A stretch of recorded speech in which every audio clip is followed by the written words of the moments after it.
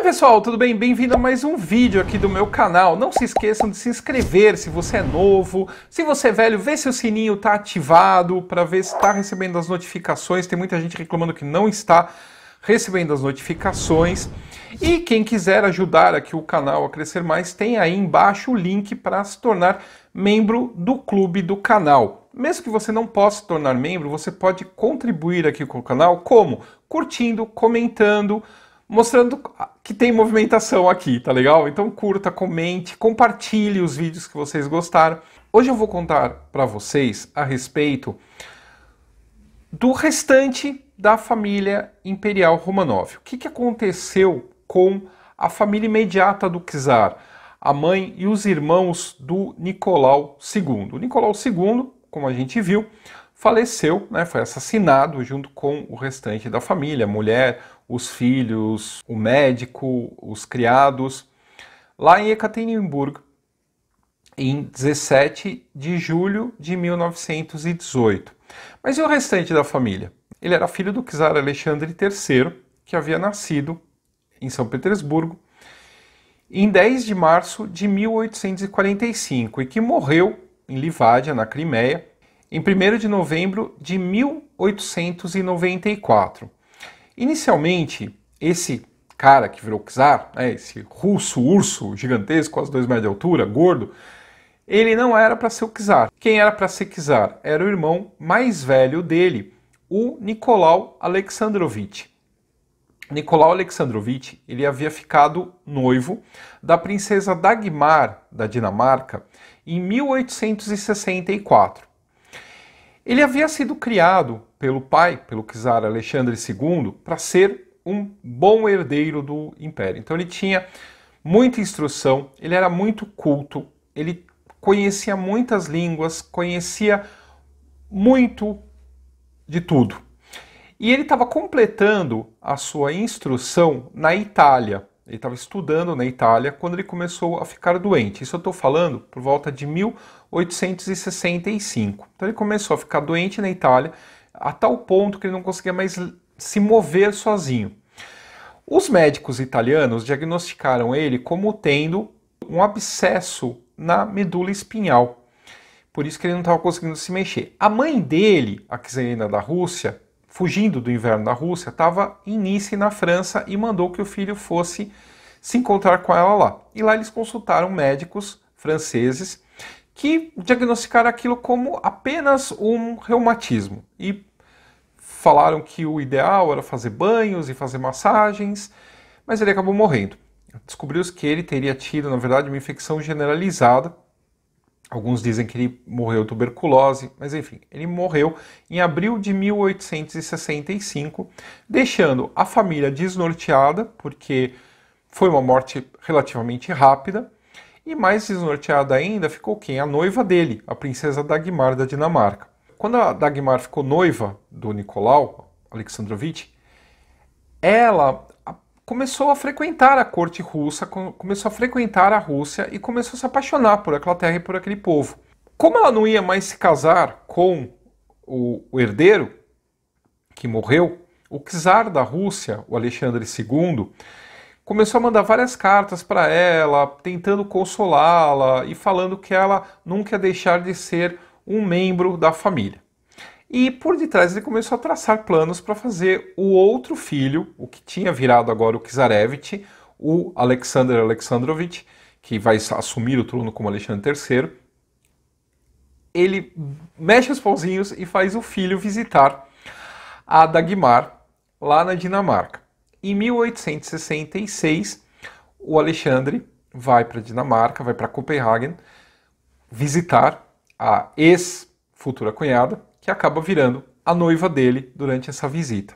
A Dagmar ela vai largar a fé anterior dela e vai entrar para a Igreja Ortodoxa Russa para poder ser recebida na igreja e recebida na sociedade como futura czarina. Então há, há todo um processo e nesse processo inclui um novo batismo. E nesse batismo ela escolheu o nome de Maria Feodorovna. Então com esse nome e nessa religião ela vai morrer. Então ela deixa para lá o Dagmar e vira Maria. Essa princesa Dagmar, que vai ser a futura imperatriz da Rússia, Ela nasceu em Copenhague em 26 de novembro de 1847. O pai da Dagmar era o rei Cristiano IX da Dinamarca. Ele era apelidado de o sogro da Europa. A filha dele, a Dagmar, que vai virar Maria Feodorovna da Rússia, se casa com Alexandre, que vai ser o futuro Alexandre III. A outra filha dele, a princesa Alexandra da Dinamarca, vai se casar com o príncipe de Gales, o Eduardo VII, que é o filho da rainha Vitória. Então ela vai ser nora da rainha Vitória. E um outro filho dele, o Jorge, vai se casar com a Olga Konstantinovna. Essa Olga Konstantinovna era da família Romanov também e era sobrinha do czar Alexandre II e prima do czar Alexandre III. Então por isso esse apelido de sogro da Europa, né? Ele vai ter até hoje tem descendentes dele espalhados por várias casas europeias, assim como da rainha Vitória. O Alexandre, né, o Alexandre III, ele era muito diferente do irmão. Ele não era tão culto quanto o irmão, ele era muito mais grosseirão, chamavam ele de camponês. Ele tinha uma força absurda, além da, daquele fato que eu contei, dele sustentar o teto do trem nas costas ele certa vez torceu um talher e jogou na mesa do embaixador da Áustria, falando que se eles movimentassem os exércitos austríacos, era isso que os russos iam fazer com os corpos do exército da, da Áustria. Então ele era bem grosseirão e ele adorava mostrar a, a força que ele tinha. Ela era franzina, delicada, né, e ela tentava controlar o marido. Então a Dagmar, a, a imperatriz Maria da Rússia, ela tentava fazer com que ele não bebesse. Então ela saía escondendo todos, todas as bebidas de todas as salas, mas não adiantava nada, porque ele usava uma bota especial cujo fundo, no salto, havia uma portinha onde ele guardava uma garrafinha de vodka para tomar escondido dela. Né? Então ele adorava tocar música, eles também, ela também gostava de música, ele tocava fagote e violoncelo, mas, mas ele era mais rude, ele eh, tinha essas coisas assim em casa tal, mas ele era mais rude no geral. O casal teve ao todo seis filhos. O Nicolau II, que foi o primeiro, que nasceu em 1868, o Alexandre, que nasceu em 1869 e morreu dez meses depois de meningite, o Jorge, que nasceu em 1871 e morreu de tuberculose em 1899, na própria Rússia. A Xênia, que nasceu em 1875 e morreu em 1960 na Inglaterra. O Miguel, que nasceu em 1878. Esse Miguel foi aquele irmão que o Nicolau quando renunciou o trono em nome dele e do filho dele, o Alexis, passou o trono para esse Miguel. E o Miguel também renunciou logo em seguida. É interessante porque tem toda uma questão de simbolismo nessa renúncia do Miguel, porque o primeiro Romanov, o primeiro príncipe que, Romanov que vira czar da Rússia em 1613, ele sai do monastério Ipatiev e era, qual o nome? Miguel. Então a dinastia ela começa com Miguel e termina em 1918 com a renúncia de um Miguel, assim como começa com o nome Ipatiev, o monastério Ipatiev, e termina na casa Ipatiev, onde eles foram assassinados em 1918. O Miguel também vai ser morto, também em 1918, só que ele vai ser assassinado em junho pelos bolchevistas, um mês e pouco antes do Nicolau e da família. Ele teve um casamento morganático, o filho dele não herdava o trono, não estava na linha de sucessão, e esse filho ele morreu no exílio aos 21 anos num acidente de carro. O casal, o Alexandre III e a Maria Feodorovna, também tiveram uma filha, foi a temporã, foi a caçula, chamada Olga Alexandrovna, que nasceu em 1882 e, assim como a Xênia, morreu no mesmo ano, em 1960. Com a Revolução, o que, que acontece? O Nicolau e a mãe eles se avistam novamente logo após a abdicação dele. Ela está em Kiev, ele em Pskov, ele vai para Mogilev, ele, eles se encontram e eles se despedem. É a última vez que eles se veem antes do Nicolau ir para o Palácio Alexandre, ficar prisioneiro e nunca mais ser visto com vida pela família. A Maria, ela parte para a Crimeia e se junta com boa parte da família. Então lá na Crimeia, ela vai rever as filhas, vai rever os netos e em 1919 o sobrinho dela, o filho da rainha Alexandra da Inglaterra, o Jorge V, manda um cruzador, um na verdade, o HMS Marlborough, para tirar a tia da Rússia. Então eles estão na Crimeia, esse cruzador chega no Mar Negro para tirar ela, e ela faz o quê? Primeiro ela se recusa a partir, porque ela achava que talvez ainda o Exército Branco conseguisse derrotar o Exército Vermelho durante a Guerra Civil, e ainda não tinha notícias do filho. Ela não tinha certeza que o filho, Nicolau, tinha sido realmente morto. Tá? Isso eu estou falando em 1919. Devido à pressão da própria família, das filhas, dos genros, etc., ela decide partir. Só que aí ela decide que ela não vai partir sozinha.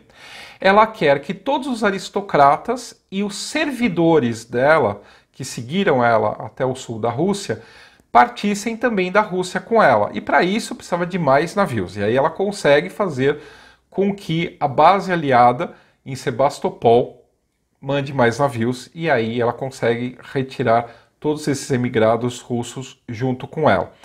Quem fica na Rússia é o amante dela. Depois da morte do marido, ela acaba tendo um relacionamento com um oficial da escolta dela. E esse oficial acaba morrendo na Rússia durante a Guerra Civil. Nessa época que ela sai da Rússia, ela estava com 72 anos.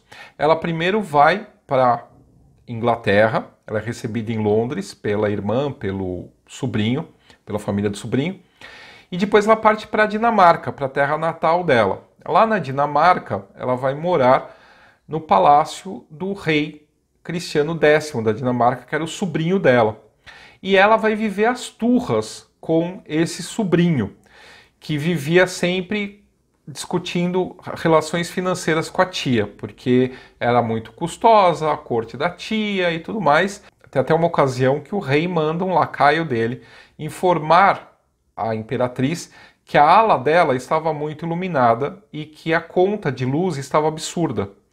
Aí a imperatriz Maria chama um criado dela, da corte dela, e manda ele iluminar do porão ao sótão a ala do palácio dela. Quem salva ela dessa situação toda é o rei Jorge V, que acaba dando uma pensão anual para a tia. Ela conseguiu carregar junto de si uma boa quantidade de joias que ela tinha na Rússia e ela tinha uma caixa de joias embaixo da cama e essa era uma das brigas com o rei da Dinamarca, que achava que ela tinha que vender as joias para poder se sustentar e não ser sustentada às custas do sobrinho. E ela morre, depois essas joias são vendidas e tal, e as filhas ficam com parte do dinheiro. A imperatriz Maria Feodorovna da Rússia morre na Dinamarca em 1928, aos 80 anos de idade.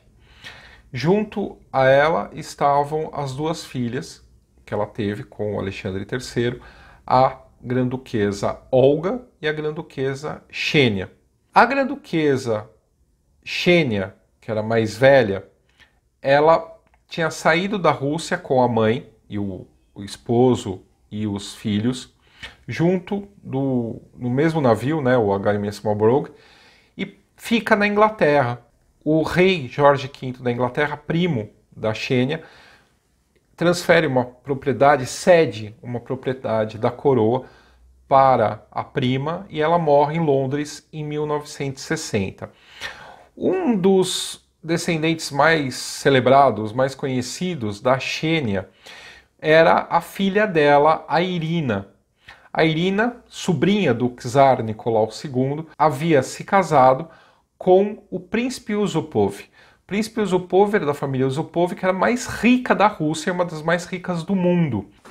Quando eles partem da Rússia para o exílio, eles se estabelecem em Paris, onde, assim, eles perderam toda aquela fortuna da Rússia, mas eles tinham propriedades, joias na França, em outros pontos da Europa, que eles acabam vendendo e continuam vivendo uma vida luxuosa até o final. Lembrando que o Yusupov foi o assassino do Rasputin. O Yusupov, ele acaba aumentando a sua fortuna no exílio quando ele passa a processar os grandes estúdios de Hollywood pelos filmes que estão sendo lançados sobre a história da Rússia, recente da Rússia e que ele viveu.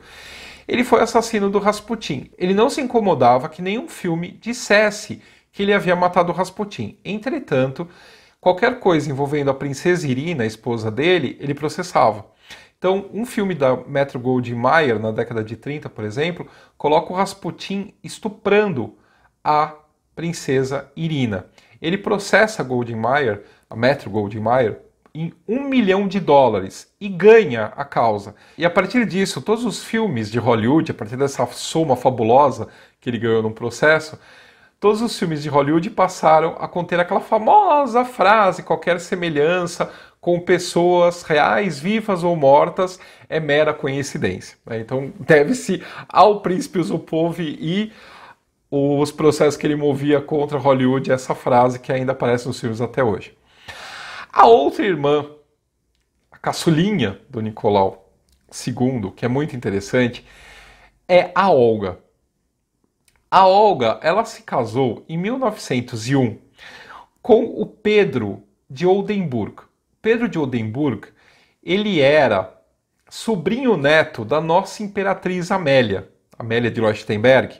Então, casada com Dom Pedro I? Pois é. Ela tinha um irmão, que era o Maximiliano de Leuchtenberg, que se casa na Rússia com uma filha de um czar.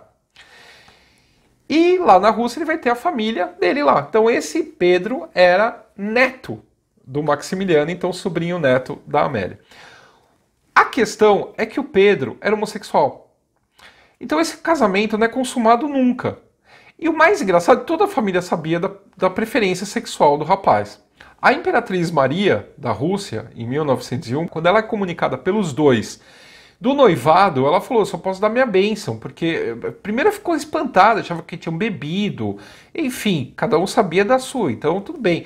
O Nicolau II, ele primeiro ri, dá risada, quando vê que o negócio é sério, ele acha que aquilo vai dar muito certo. Então, assim, ele fala que ele vai dar o consentimento, mas que eles têm que pensar muito bem. Ele era o chefe da família, ele tinha que dar o consentimento. Então, que eles têm que pensar muito bem no que eles vão fazer e tal, e aí eles acabam insistindo o que eles querem. Bom, o casamento não é consumado, o rapaz lá, o Pedro, ele gasta boa parte da fortuna da, da esposa em jogo de azar, vivia jogando em Monte Carlo, em outros cassinos pela Europa. Nesse meio tempo, a Olga, em 1903, se apaixona por um oficial, Coronel Kolonikovski. E ela quer se separar do marido para se casar com esse oficial. O Nicolau não deixa. Ele falou: não, vocês vão ter que pelo menos ficar casados sete anos para ver se é isso mesmo que vocês querem né? Eu avisei lá no começo, antes de vocês casarem. Então agora você aguenta as consequências. Bom, o marido, também preso a essa esposa, e esse casamento que não é consumado nunca, o que, que ele faz? Ele resolve nomear o coronel que a esposa gostava como membro da equipe dele. Então esse cara começa a, a morar no palácio e ele muda de quarto. Então, basicamente, os três acabam vivendo no mesmo palácio. A Olga, junto com o coronel que ela se apaixonou, e o marido deixa de lado. Né? O marido, tudo bem, ok, pode ficar com ele. No meio da guerra, no meio da Primeira Guerra Mundial, em 1916, o Nicolau finalmente permite que a irmã se separe. Vai, ela vai ter vários filhos com Kolonikovski e vai morar o resto da vida com ele. Ao contrário da mãe, da irmã, dos sobrinhos e outros parentes, a Olga ela permanece na Rússia por mais algum tempo. Inclusive, o Exército Branco queria nomeá-la imperatriz da Rússia e ela declina, fala que não, que não é certo, que ninguém nunca viu o corpo do, do irmão, né, então que não era certo. Mas ela efetivamente foi a última neta, filha e irmã de um imperador abandonar a Rússia. Ela primeiro vai para a Bulgária e da Bulgária ela chega na Dinamarca, onde ela se junta com a mãe. Lá na Dinamarca, depois da morte da Imperatriz Maria, ela vai comprar uma fazenda e vai se instalar. Durante a Segunda Guerra Mundial, esses exilados russos da época do Império Russo, que se encontravam na França, na Alemanha, na Áustria, muitos deles pertenciam ao exército imperial. Quando eles veem uma oportunidade de voltarem para a Rússia, eles entram para o exército alemão. E o exército alemão ele chega a criar batalhões de antigos oficiais dos exércitos czaristas e antigos soldados dos exércitos czaristas. E esses nazistas, vamos dizer assim, começam a visitar a Olga lá na Dinamarca. Lembrando que a Dinamarca tinha sido invadida pelos nazistas. Antigos membros de batalhões que ela era madrinha, antigos oficiais do exército czarista começam a visitá-la. Isso, com o final da guerra, vai complicar muito a vida dela. Ainda mais porque ela vai tentar interceder por esses oficiais tidos como nazistas. Com a invasão da Alemanha pelos soviéticos né, no final da, da, Segunda Guerra Mundial, os dinamarqueses, né, onde a, a Olga estava, eles passaram, a Dinamarca passou a ter os exércitos soviéticos na fronteira. E tinha uma grã-duquesa russa que havia não só recebido oficiais nazistas no seu na sua fazenda, como ajudado muito desses russos que haviam entrado para o exército nazista a fugir para a América do Sul. Para completar mais ainda esse quadro, ela começou a tentar intervir politicamente, por, pelos meios que ela tinha contato, no caso dos soldados russos que estavam num campo de concentração em Lienz, na Áustria. O que, que aconteceu? Né, eu tenho que fazer um parênteses aqui. Durante a Segunda Guerra Mundial, muitos soldados russos do exército soviético foram feitos prisioneiros pelos alemães. Quando acabou a guerra, esses soldados que haviam tido contato com os alemães e tudo mais estavam todos presos dentro de um campo de concentração nessa cidade na Áustria. O Stalin queria que pegasse todos esses soldados e levassem de volta para a União Soviética. Esses soldados, inclusive, vão ser depois enfiados em campos de concentração na União Soviética por terem tido contato com os ocidentais. Então, eles estavam todos contaminados com ideias ocidentais. Então, aqueles prisioneiros de guerra russos, né, que eram do exército soviético, acabaram voltando para a União Soviética e indo para campo de concentração. Para complicar mais ainda a baderna, também estava dentro desses dessa massa aí de 50 mil soldados que voltam repatriados para a União Soviética para serem trancafiados em campos de concentração soviéticos, 1.500 antigos oficiais czaristas que haviam lutado contra a União Soviética do lado da Alemanha nazista. A Olga, ela tenta interceder por esses soldados e acaba não conseguindo nada, mas acaba chamando muito a atenção do Stalin. O que, que os soviéticos fazem? Eles criam um, um espião que chega na fazenda dela, isso em 1948, chega na fazenda dela na Dinamarca falando que havia fugido da Rússia e pedindo a caridade da Grã-Duquesa Romanov a favor dele. E ela pega, intercede por ele e coloca ele para trabalhar na fazenda dela. Alguns meses depois, o que, que ele faz, esse, esse cidadão russo? Ele vai na embaixada da União Soviética, na Dinamarca, em Copenhague, e denuncia a Grã-Duquesa por trabalhos forçados, como se ele fosse um prisioneiro e ela obrigasse ele a trabalhar. Aí isso cai aonde? Em Moscou e o Stalin pede que ela seja presa, que ela seja acusada e levada para a União Soviética. Ela consegue escapar da Dinamarca e vai para onde? Para Inglaterra. Onde ela, ninguém quer ela. Por quê? Porque ela tinha se envolvido com esses oficiais nazistas, com esse rolo todo, enfim, conseguem transferir ela para o Canadá, onde ela vai morar até o final da vida, onde ela vai morrer na década de 1960. Poucos anos antes, a rainha Elizabeth II e o príncipe Philip chegam lá para uma visita no Canadá e a convidam para um almoço no HMI Britânia, que era o iate da rainha Elizabeth na época. Essas foram as mulheres Romanov que escaparam da Rússia né, essas bem pertencentes à, à, à, última família imperial. Mas houve uma que ela continuou na Rússia, era a princesa Natália Skander Romanov. Ela era tetraneta do czar Nicolau I.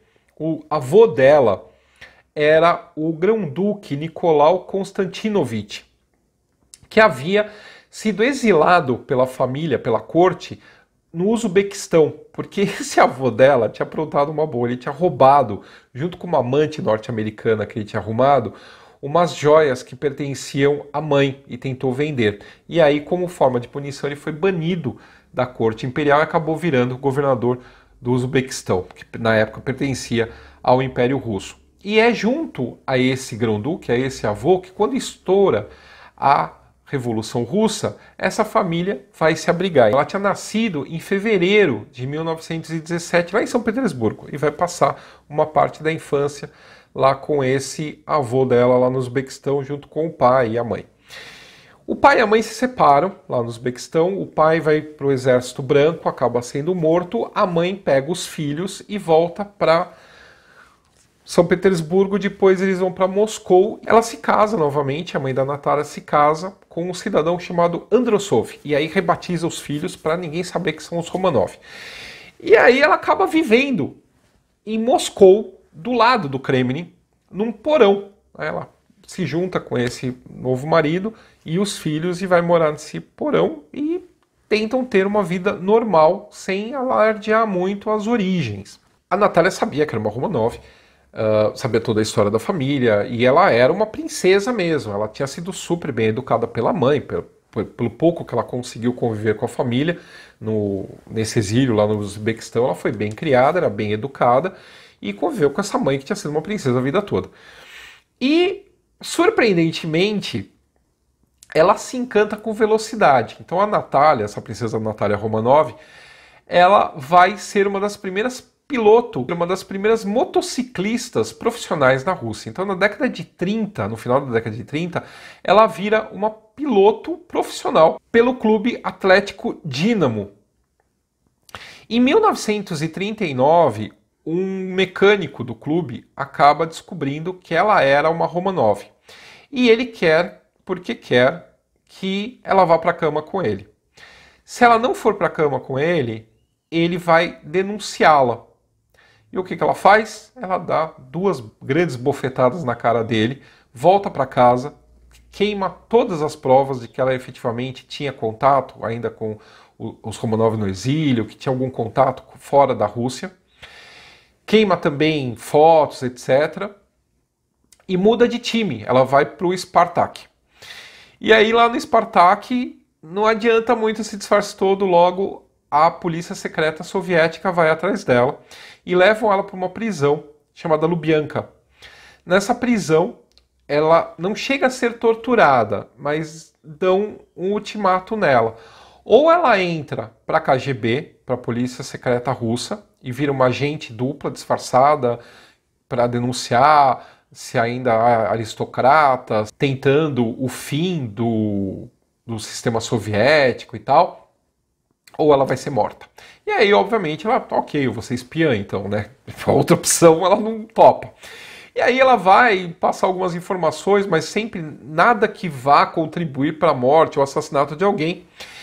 E durante a Segunda Guerra Mundial, ela trabalha numa brigada de incêndio. Então, ela, ela junto com o grupo dela, ela apagava incêndio provocado por bombardeamentos em Moscou e tentava desarmar bombas incendiárias que não tivessem explodido.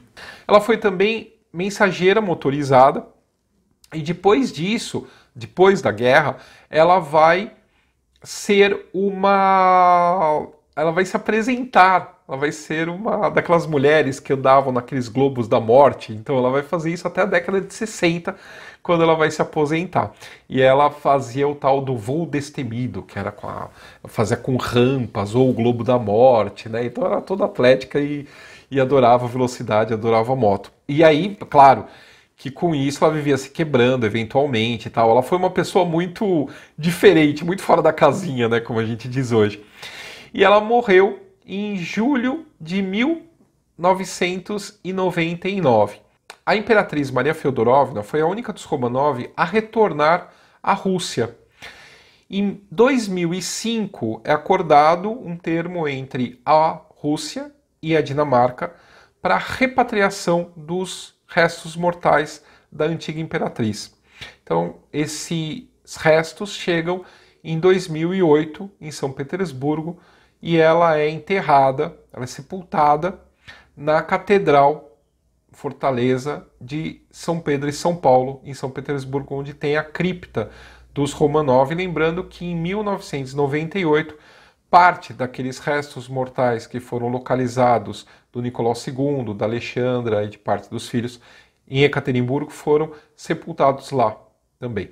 Tá legal? Um abraço, até o próximo vídeo.